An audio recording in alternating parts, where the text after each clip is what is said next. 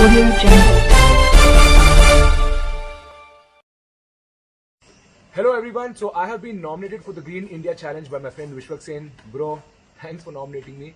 I also like to thank MP Santosh Kumar Garu for starting this initiative because this is the need of the hour.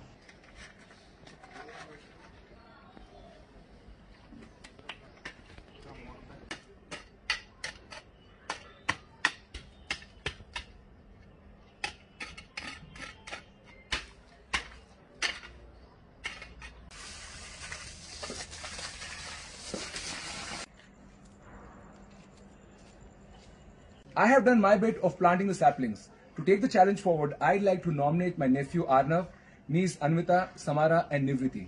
These are the young adults of tomorrow, and I want them to bond with nature. So, guys, please take the challenge forward.